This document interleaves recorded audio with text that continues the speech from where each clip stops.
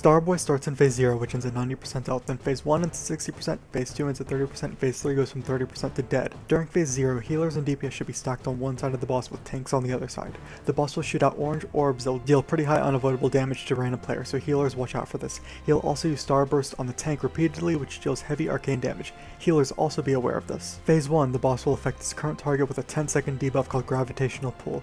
Once the main tank gets this, the other tank should taunt off. After the 10 seconds, an ice comet will come down and hit the tank. No one else should be around him. This will happen 3 times. That tank will then get absolute zero, which hurts him and is removed when 3 players stand on him. So designate 3 players to do this after the third comet comes down. Those 3 players will then get a debuff called chilled, therefore if they come into contact with absolute zero again, they'll become frozen and have to be damaged to be broken out. Because of this you might want to designate a second group to stand on the tank the next time to avoid anyone getting iced. Random players will also get icy ejection. Stand near the edge of the platform and not near anyone else. The tank should also never stack during his phase because of the Ice Burst ability he casts on his current target. On Heroic, the boss will cast Frigid Nova every minute, which deals massive damage to the raid. Stack before this cast is over to reduce damage taken. Phase 2, random players will get Fel Ejection which will drop a green puddle on the ground. Designate one side of the room for people to drop these. They drop pretty fast so keep moving but try dropping them close together.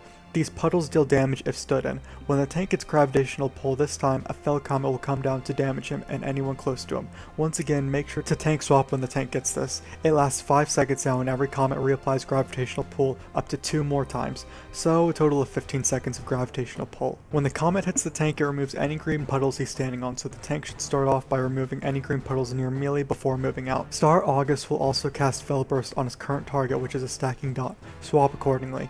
On Heroic Star Augur will cast Fel Nova which deals massive damage to the raid. Everyone, including Tank, should move to the outside edge to reduce damage. Phase 3 gravitational pull happens every 65 seconds and is only applied once in this phase instead of 3 times. Once the tank gets it, the other tank should taunt once again. The tank with it should run out where a void comet will hit him and a big ad will spawn. This ad should be tanked away from the boss at all times. All DPS need to turn and kill this ad. This is usually when Hero or Bloodlust is used. The ad will cast Witness the Void. Before the cast is finished, everyone should turn their backs to the ad. If you don't, you get feared. The other tank swap mechanic is Void Burst. This does no immediate damage but is a stacking dot. When it expires, it travels to two new targets with half as many stacks as before. Tank should swap this debuff at around 6 as long as the big ad is not out. Boss will also put a heavy damage dot called Void Ejection on random players. After 8 seconds when it expires, Voidlings will spawn which a tank should pick up. These ads can easily be cleaved down. On Heroic, the boss will cast a Void Nova which just deals moderate damage to the raid and adds a stack to Void Burst. After 3 minutes in this phase, he will cast Big Bang, making it a wipe.